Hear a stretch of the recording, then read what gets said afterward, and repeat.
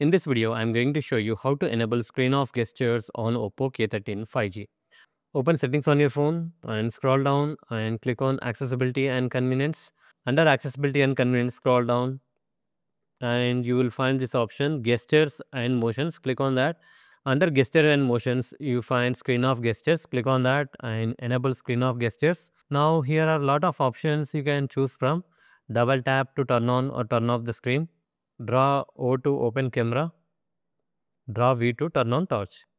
And there are some more controls, you can try them. Double tap to turn off, double tap to turn on. And let's lock the phone again. And now let's draw O to open the camera.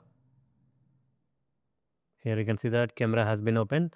Now let's draw V to turn on the torch light.